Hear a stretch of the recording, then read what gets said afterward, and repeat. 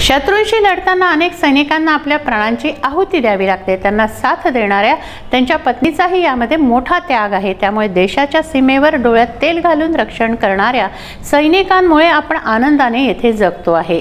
स्वातंत्र्य सैनिकांमुळे देश स्वतंत्र झाला तर सीमेवर लढणाऱ्या सैनिकांमुळे देशाचं स्वातंत्र्य अबाधित राहिलं. परंतु लढताना अनेक सैनिकांना आपल्या प्राणांची आहुती द्यावी लागते. त्यांना साथ देणाऱ्या त्यांच्या पत्नीचाही यामध्ये मोठा त्याग आहे. त्यामुळे शहीद सैनिकांच्या वीरपत्नींच्या या कार्याला आपण सलाम करूया अशी भावना प्रेस क्लबचे अध्यक्ष गणेश पाटील यांनी व्यक्त केली. बुलढाण्यामध्ये वीरमाता व वीरपत्नींचा सत्कार करण्यात आला. भारत मातेचं रक्षण करत असताना वीरमरण आलेल्या मोताळा तालुक्यातील वीरमाता व वीरपत्नींचा साडीचोळी देऊन सन्मान करून प्रेस क्लब मोताळ्याच्या वतीने पत्रकार दिन साजरा करण्यात आला. कार्यक्रमाची सुरुवात दर्पणकार आचार्य बाळशास्त्री जांभेकर यांच्या प्रतिमेचं पूजन करून करण्यात आली.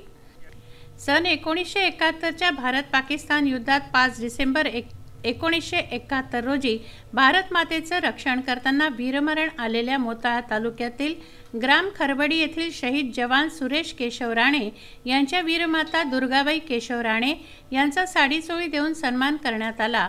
तर सन एकोणीसशे सत्त्याऐंशीच्या ऑपरेशन पवन मोहीम श्रीलंका येथे भारतमातेचं रक्षण करताना वीरमरण आलेल्या तालुक्यातील राजूर येथील शहीद नायब सुभेदार दिनकर दौलत गवई यांच्या वीरपत्नी शांताबाई दिनकर गवई यांचा सुद्धा साडीचोळी देऊन सन्मान करण्यात आला.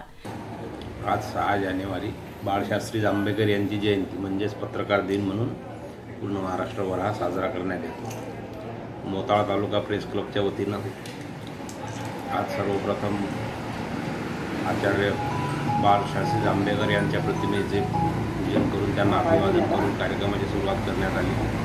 प्रेस क्लबच्या वतीनं दरवर्षी नवीन नवीन उपक्रम राबवत असतो. आज पत्रकार दिनानिमित्त मोताळा तालुक्यातील जे शहीद जवान झालेले आहेत त्यांच्या वीर माता व वीर पत्नी यांचा साडी चोडी देऊन मोताळा तालुका प्रेस क्लबच्या वतीनं सन्मान करण्यात आला. यावेळी प्रेस क्लब मोताळाचे पदाधिकारी समाजसेवक व राजकीय मंडळी उपस्थित होती. प्रशांत खंडारे विदर्भ न्यूज बुलढाणा.